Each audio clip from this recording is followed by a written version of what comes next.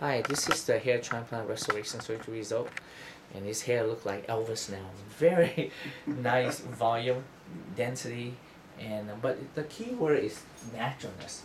Um, he's has an excellent result. Again, uh, you need both an artist and a surgeon to really give you the best result.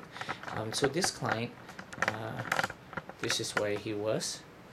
Uh, again, we dropped the hairline down an inch, an inch and a half, and he had the high receding hairline and bigger forehead.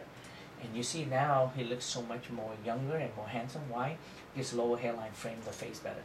I give him a medium zigzag, so it's very nice and soft. But the volume and density.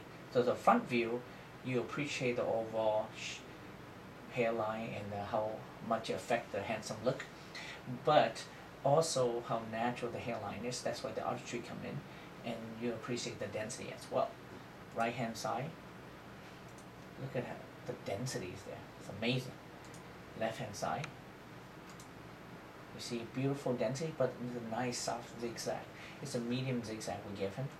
And the top view, excellent density. And you walk down the street, as absolutely no way he will notice I have that surgery done. And this is where he was. Uh, he is now. Go ahead, look straight at me. And turn to the other side. Look at that. Excellent density. Look straight. Thank you.